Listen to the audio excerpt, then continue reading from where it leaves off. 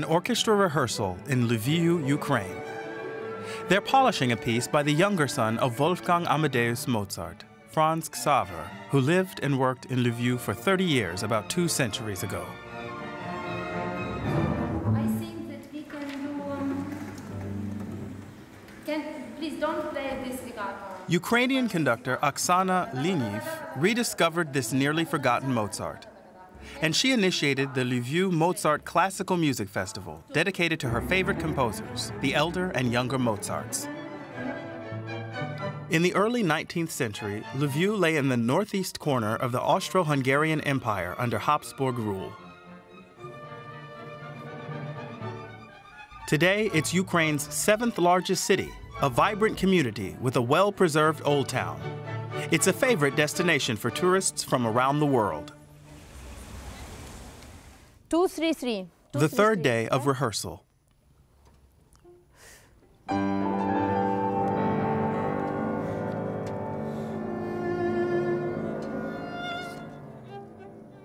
Beethoven's Triple Concerto, played by three soloists, along with musicians from two youth orchestras Germany's Bundesjugend Orchester and the Academic Youth Symphony Orchestra, based in Lviv.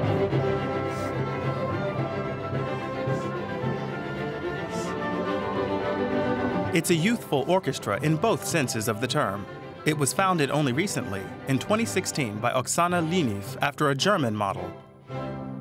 Zum ersten Mal habe ich in I worked with the Deutschland Bavarian Landesjugendorchester for the first time in Germany in 2006.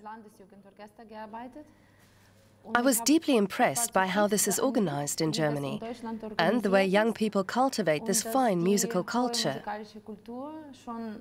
Ähm, I was fascinated by the atmosphere the accomplishment, and the results.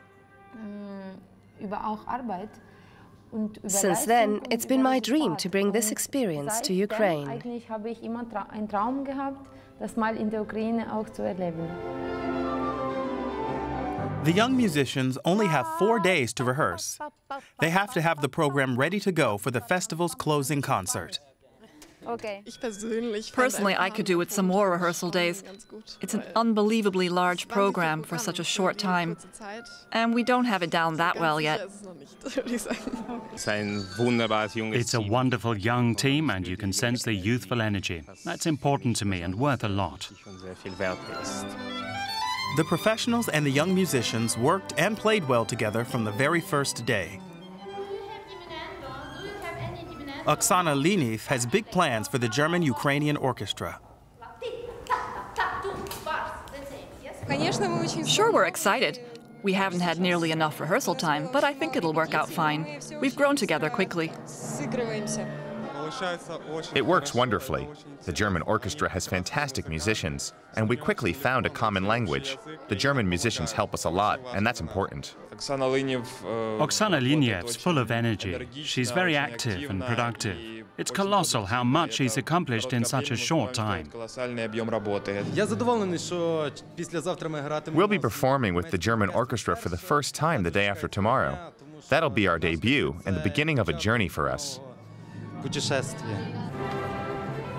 An outing to the Carpathian Mountains was planned, but the German musicians have barely had time to see the town. The rehearsals have top priority.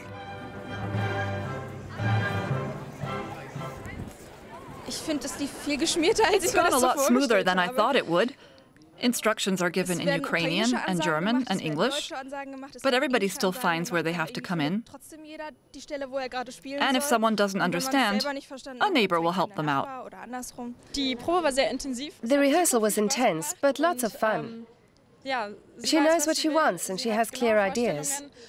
It's great with the others too. We've just met, but it's working out very well. Some of the Ukrainians don't speak English very well, but then others speak German. With the people I've had contact with so far, it's worked fine. We communicate one way or the other, and they're very open and obliging. It's fun to talk with them.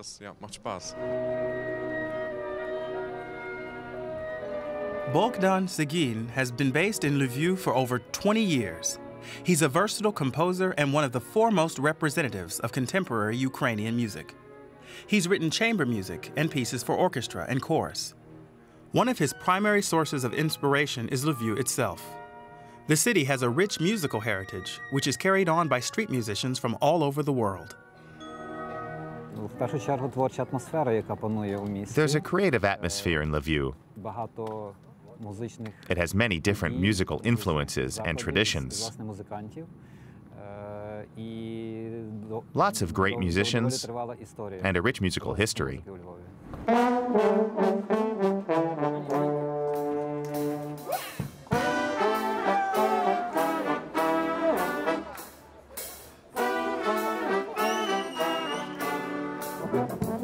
For his commission from DW, Bogdan Segin has composed an ode to his city.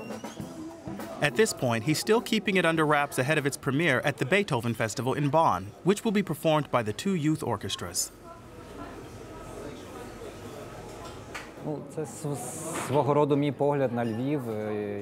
My composition embodies my view of Lviv.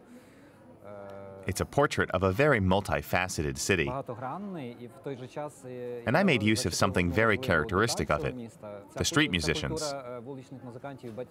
A hundred years ago, for instance, when Lviv was part of Poland, Batyr music was very popular. That inspired me. Just like Beethoven's vocal works, I'm particularly fond of some of his songs for voice and piano. In Beethoven's day, they were as popular as radio hits today.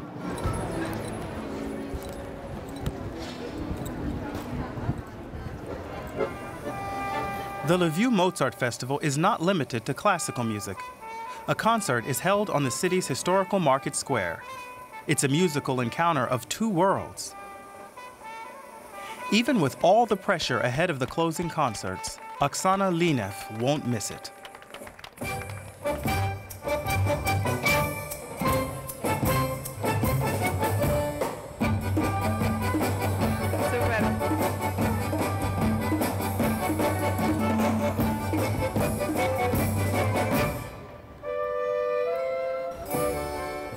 The conductors just had four days of intense rehearsals, but it hardly shows. She lives for her work. She's brought the two youth orchestras together for a demanding program. The festival closes with a rousing concert in the Lviv Opera House, one of Europe's most beautiful opera houses.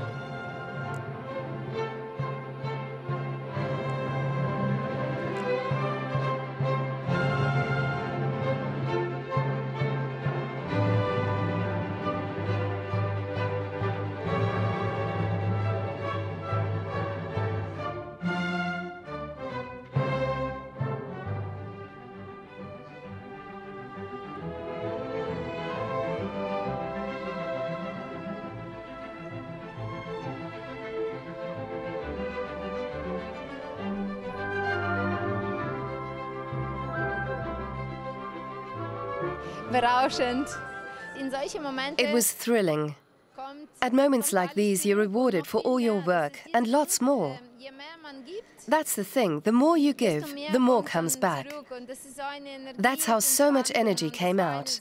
We were all supercharged up even before the concert. It felt like the very air was electrified. The concert's a huge success. Tomorrow, the orchestra will perform in the capital Kiev before leaving for Bonn to debut Bogdan Segin's composition. Yes, I'm anxious about the premiere in Bonn. I feel like an actor with stage fright.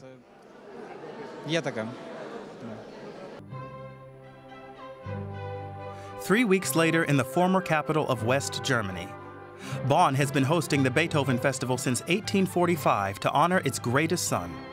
The event stages four weeks of non-stop music.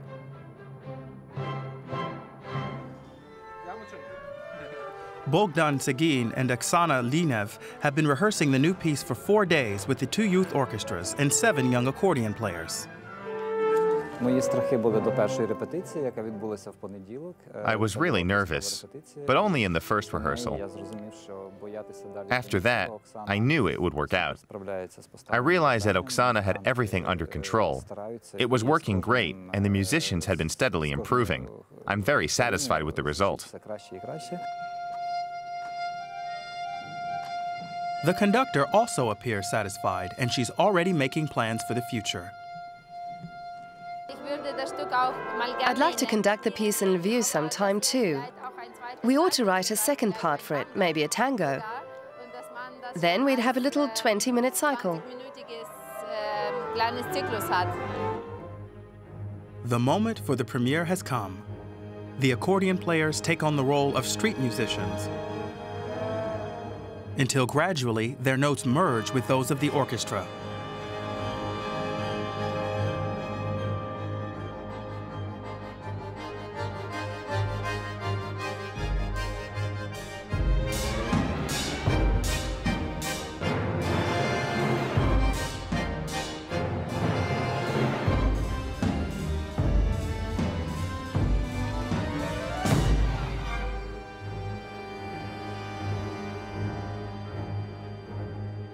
It's a very special evening for me, uh, for my uh, premiere, and also for Ukraine, for Ukrainian, uh, Ukrainian music and culture.